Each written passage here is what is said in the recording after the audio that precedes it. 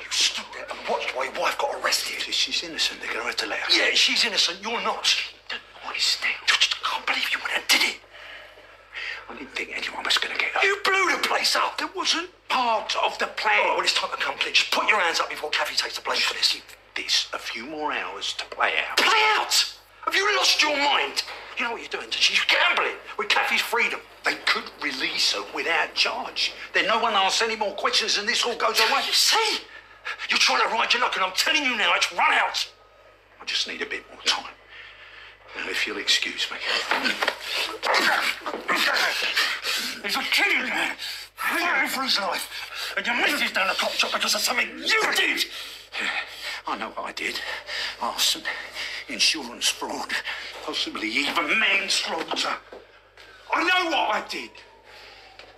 Because there is a very good chance I could go down for life. From where I'm standing, you deserve it. So for once in your life, stop putting yourself first and fix this.